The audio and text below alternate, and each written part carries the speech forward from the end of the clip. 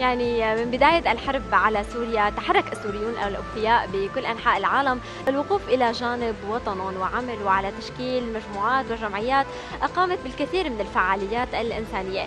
اليوم معنا سوريين أوفياء قدموا من السويد للمشاركة بمعرض دمشق الدولي وهنا من أعضاء هيئة الدفاع عن سوريا يلي تأسست منذ بداية الأحداث في سوريا. يسعدنا أن نرحب بالسيدة فادية رستم عضو اللجنة الإعلامية للهيئة. يسعد صباحك وأهلا وسهلا فيك. السيد حسين داوود المسؤول الإعلامي للهيئة. صباح الخير. أهلا وسهلا فيكم. صباح النور. الحمد لله على السلامة. الله يسلمك. أهلا وسهلا فيكم بسوريا. خبرونا كيف شفتوا سوريا وخاصة أيام هالمعرض؟ أبلش؟ تفضلي.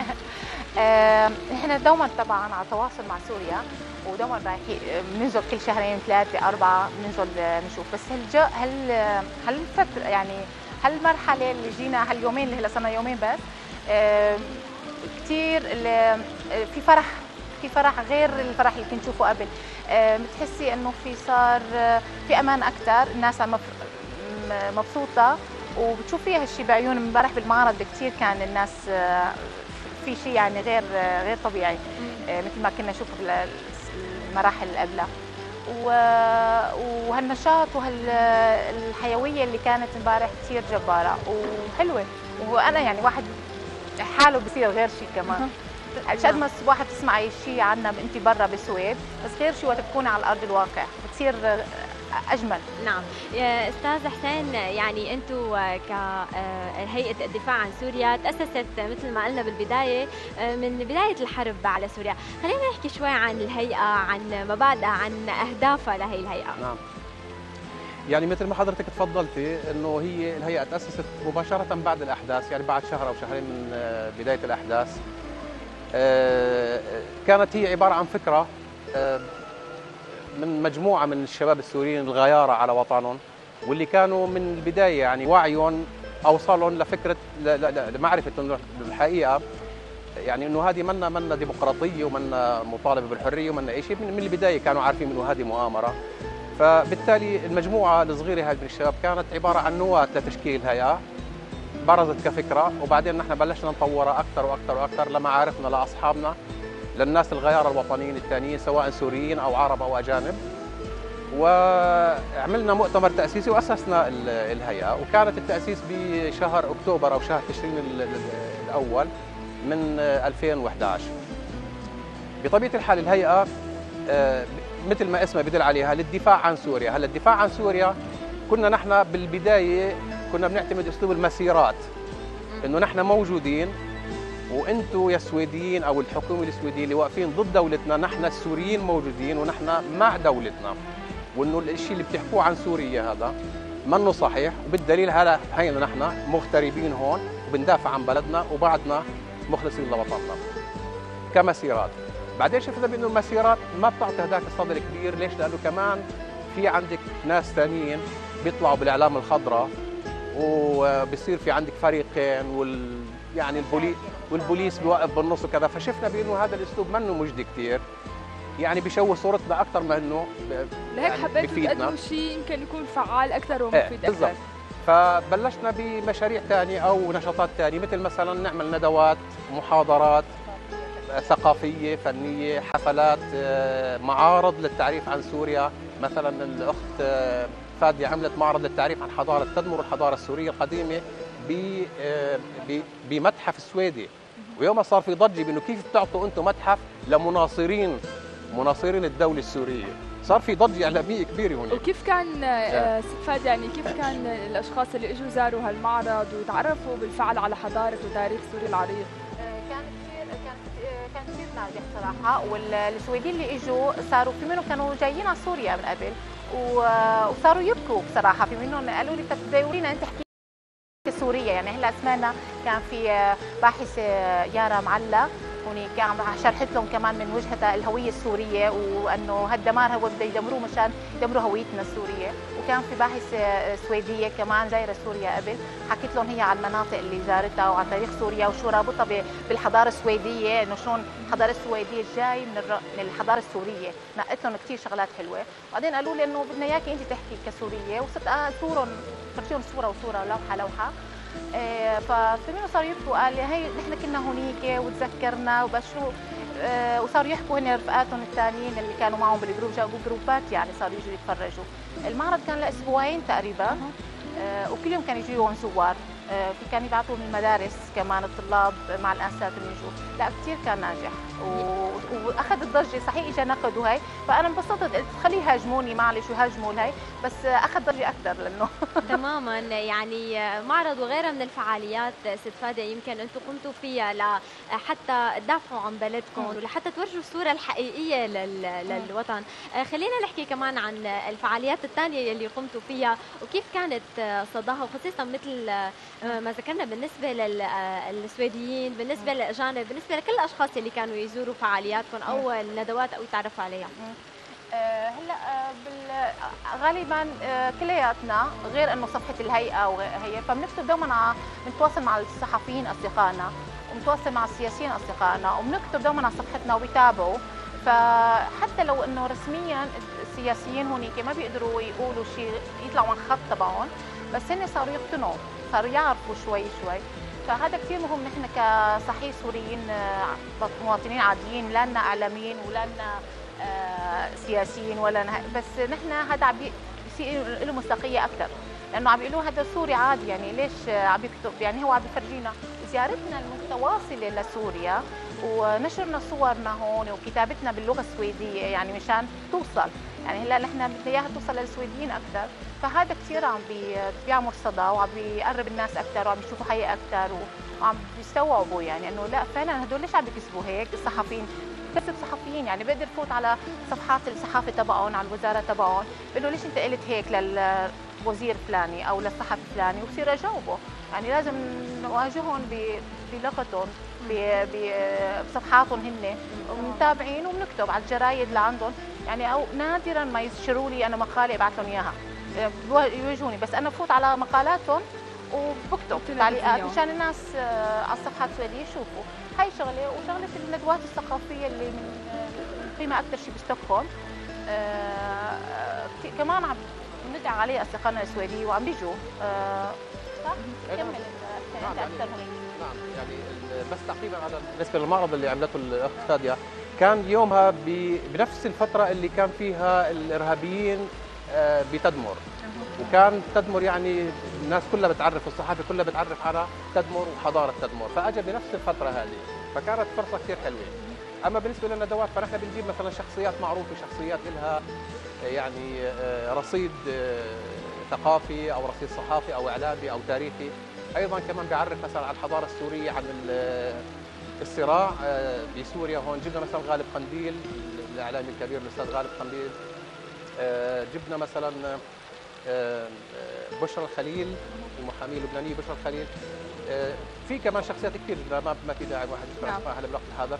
لكن كمان من ضمن النشاطات إنه نحن بنبعث مساعدات لسوريا وبعثنا تقريبا 17 حاويه من الحجم الكبير يعني وكلها معدات أكثر شيء معدات طبية للجرحى لو ذوي الاحتياجات الخاصة. يعني هي كلها مشاعر بتعبر عن توحد كل الشعب السوري وين ما كان موجود. والشعور بأخوه كمان المحتاج لهالمساعده اليوم بمشاركتكم ضمن معرض دمشق الدولي خبرنا أكثر عن هالمشاركة. نعم. وشو الأمانة يلي رح تحملوها من أيام هالمعرض يلي رح تقضوا فيه ورح تعرفوا عن هيئتكم؟ شو الأمانة اللي رح تحملوها للخارج. نعم. يعني أيضا من ضمن النشاطات إنه نحن قررنا بإنه نربط مثلا رجال الأعمال أو المعارف يعني أصدقائنا رجال الأعمال الموجودين بالسويد سواء سوريين عرب أجانب بإنه أيضا نربطهم بالاقتصاد السوري. بيستفادوا وبيفيدوا يعني بإمكان مثلا يجوا يعملوا عقود يطلعوا ويشوفوا الواقع الحالي الاقتصادي هون بسوريا. وما في أحلى من المعرض يعني معرض دمشق الدولي يعني نعم. هذا فرصة جدا عظيمة. فاجى معنا كثير من الشركات اللي هي مسجلة بالسويد في مجالات عدة يعني. في خلينا نحكي مثلا المجال الغذائي استيراد وتصدير استيراد مثلا الأعمال الحرفية اللي بتشتغلها نساء سوريات. الاخت فاديه قائمه على هذا الموضوع. في عندنا مثلا شركة لها علاقة بحماية ومراقبة السواحل. في عندنا شركات حماية الشخصيه تدوير النفايات. آه، النقل آه، سياحة. ال- البناء الإعمار السياحة الآليات الثقيلة. خدمات طبية. آه، الخدمات الطبية وأيضا استخراج الوقود البيئي. فهاي كل الشركات موجودة ممثلة برجال أعمال واستثماريين موجودين معنا بالوفد وبيجوا على هالمعرض وبيلتقوا مع الشركات اللي ممكن يعملوا معها عقود أو ممكن صلة وصل يعني حضرتكم عم تشتغلوا على هالموضوع اللي له أكيد تأثير كثير كبير ومنعش للاقتصاد السوري. يعني هي الشركات ومعكم أيضا رجال أعمال غير سوريين؟ إيه. إيه أكيد. في معنا آه، معنا؟ آه، أكيد في معنا عراقيين وفي معنا مصريين وفي معنا سويديه طبعا و ويوناني. ويوناني هن من ضمن الهيئة هن من ضمن آه لا في؟ منهم من ضمن الهيئة. هلا. مثل آه، مثل صحفي آه، يقولوا آه، وسياسي هو فهو من ضمن الهيئة معنا من الأساس. بيدافع عن سوريا وكل ما بيجي لهون آه، معنا على الوف آه، على زيارة على سوريا بيرجع بيكتب هونيك مقالات وبيحكي عن اللي بتفاجئ. دوما بيكتب شيء كثير إيجابي. مم. وفي معنا كمان صحفي ثاني. جديد أول مرة بيجي على سوريا. طول عمره بيحلم وبيقرأ على دماسكوس. هاي أول مرة. كمان جاي معنا هالمرة وعم بيصور وعم بيكتب رح يكتب آه، شيء حلو. يعني هو الجسم الرئيسي للوفد من هيئة الدفاع أعضاء هيئة الدفاع. وخصوصا رجال الأعمال أو المستثمرين اللي هم أعضاء بهيئة الدفاع نفسهم.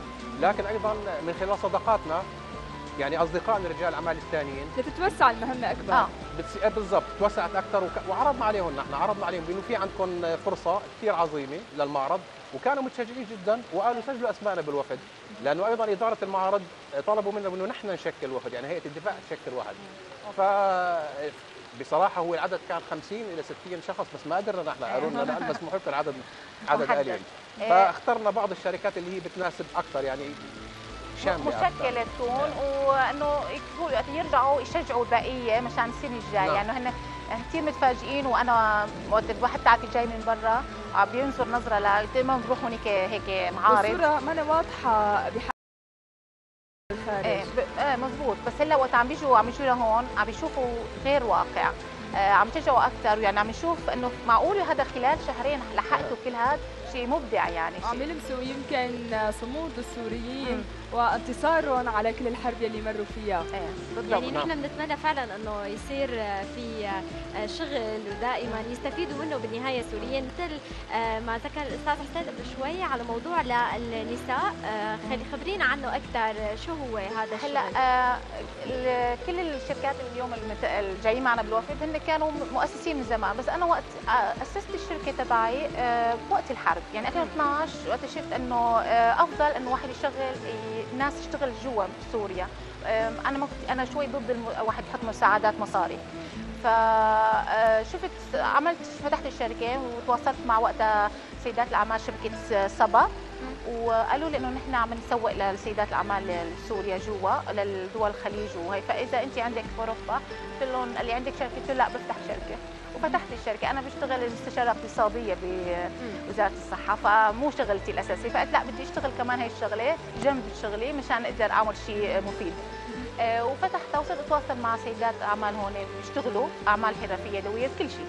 كل شيء بيقدروا يشتغلوا وطلع أي الموديل وال- والشيء اللي ممكن يزبط مع ال- البيئة السويدية. وهلأ أكثر الزباين من سويديين. فصرت أروح معارض سويدية هنيك ودوما نحط العلم السوري وعلمنا والبنت السورية. ومنتج سوري. انتاج سوري. وفرجيهم إنه أنا هون نحن سوريين واقفين. وعم بجيبهم منتجات. يعني هي أنا مثل تحدي كان فرجيهم إنه نحن صحيح عملتوا علينا حصار. بس لا عم ندخل مع- منتجات وعم نعمل جمرك عليها وعم نفوتها وفرجيكم إنه نحن متابعين. آه، هذا كثير كان يعني أنا كثير شيء كان معنويا أكثر لبرا ولجوا. هذا. ففي شغله ممكن اضيفها أنا راحت على ال- الحاويات اللي عم نبعثها مساعدات. يعني إحنا أول شيء كانوا عم يفكروا مثل ثياب كانوا نبعث أول شيء فتاة كثير ثياب وأغذية. بعدين لا قلنا الأغذية أحسن شيء من هون في هون إنتاج واسع واحد بيقدر يبعث هون ويشتري من هون. وبعدين كمان آه، اتجهنا أكثر شيء للأجهزة الطبية. المستشفى للمستشفيات المستوصفات المتنقله آه، في حتى في حاوية بعثناها للدير المار يعقوب عملوا لونوها ظبطوها عملوها آه، مستشفى متنقلة عم يشتغلوا فيها ممرضين كثير شيء حلو آه، هي نفس الحاوية اللي إيه. كان فيها مساعده قلنا لها خلوها عندكم. وعملوها آه، مستشفى مستشفى متنقل. دهنوها وظبطوها وصاروا يعالجوا فيها إيه، النقص واول شيء أول عشر حاويات كلها كان آه، مقاع شو اسمه كراسي متحركة بطاريات من غير بطاريات آه، عكازات. اجهزه اشعه وهيك. كانوا أول شيء اول عشرة راحوا لمؤسسه الوعد.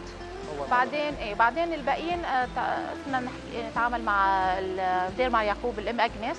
وكان دوما تبعت لنا وثائق وتفرجينا مثلا مدرسة كاملة مع مقاعد وكراسي وهي. بعتناها كمان فرجتنا إنه هلا رممنا المدرسة. كثير شيء حلو لأنه اللي عم يشتغلوا هنيك كمان حابين يشوفوا إنه شغلهم وصل. أكيد. وإنه عم يروح من الاتجاه لأنه نحن وقعنا هنيك أنا مثلا كتبت اسمي إنه وقتها الأجهزة الطبية. أنا بتكفل إنه هالشغلات تروح فعلا لل آه، للناس متضررين. المحتاجه مو للبيع لأنه نعم. هن نحن مضطرين نتعامل آه، ما نتعامل مع المؤسسات الدولية مضطرين مع جمعيات داخلية لأنه في حصار على سوريا. فشو عملنا؟ إنه نحن كجمعية أهلية نحن جمعية سوريين ما لنا علاقه بالسياسيين عم نتعامل مع جمعيات أهلية من هون. وقعنا سنان ومتكفرين إنه هالشيء تروح فعلا اعمال خيرية.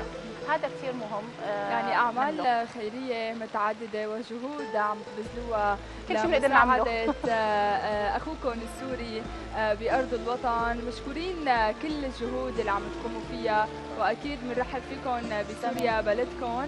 وشكرا كثير شكرا لكم. لكم شكرا لكم. للصباح نحن سعيدين جدا كمان إنه طلعنا على الفضائية ال- الإخبارية. السورية. طلعنا على وأيضا أيضا كمان يعني نوجه شكرنا لشعبنا ولجيشنا ولقيادتنا لأنه كمان لولا صمودهم ولولا تضحياتهم كمان نحن ما ما كنا موجودين هون يعني. نعم. شكرا ونشكر كمان اللي ال- المسؤولين على المعرض على الدعوة اللي سمحتنا الفرصه نعم. نقدر نجي ونشارك ونشا- ونجيب معنا تجار شكرا كثير لكم نتمنى لكم. التوفيق وإن شاء الله نلتقي بزيارات قادمة وفعاليات كبيرة دائما بتحمل الأمل والفرح لكل السوريين داخل وخارج الوطن. شكرا كثير لكم. يعني لهون